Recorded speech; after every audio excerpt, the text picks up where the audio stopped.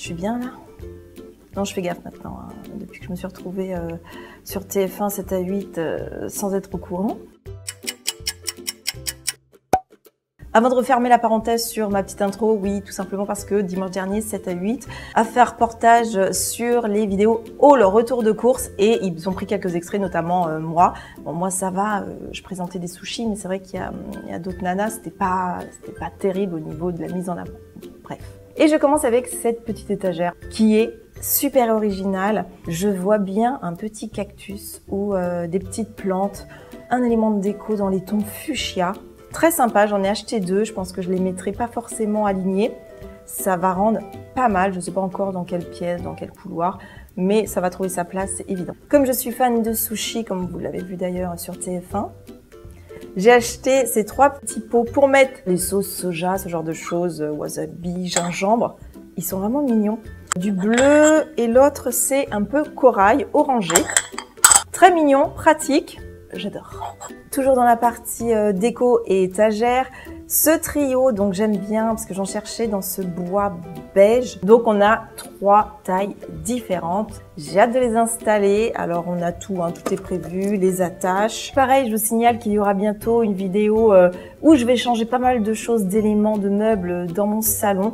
Donc je vous invite, hein, pour ceux qui ne pas fait, euh, à vous abonner à ma chaîne. Du coup, vous allez pouvoir suivre toutes mes parutions. Ça risque d'être euh, assez sympa. Mon amour pour les créations DIY, loisirs créatifs, des étiquettes, des stickers, tendance pastel, Coffee please, you got this, let be adventure. On a des numéros, on a des phrases, on a les jours de la semaine, on a vraiment tout dans les tons pastels. C'est très pratique. Ensuite, ce cadre, j'ai craqué sur celui-ci avec les petites pampilles euh, très colorées que je trouve, ma foi, assez ravissant. J'adore et j'ai hâte de mettre mes propres illustrations parce que je ne connais pas, moi, ces gens-là.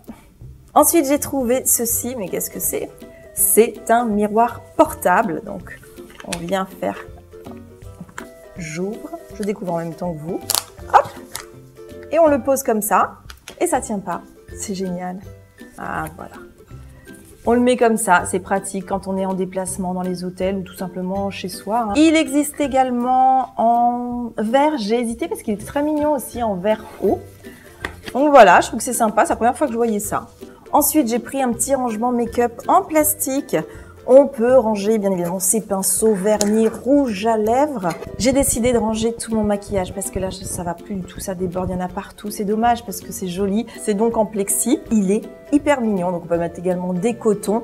Je le trouve très sympa. Je poursuis. Alors si vous me suivez, vous avez vu que j'avais déjà acheté deux sachets comme ça, bien évidemment sur un thème différent. Et là on part sur du euh, noir et blanc, ce qui m'a vraiment séduit, ce sont des plans de ville, hein, London, Amsterdam, New York, des plans cartographiés, on a des illustrations sur des monuments euh, principaux. J'aime beaucoup, j'ai vraiment hâte de les installer. J'ai repris mes petits pouces-pouces pour se laver les mains, une dans ma cuisine, une dans ma salle de bain. Ils sont quand même très élégants, je trouve. Château Beau Savon, s'il te plaît ça passe. Et bien voilà, c'est tout pour la présentation de euh, mes achats actions.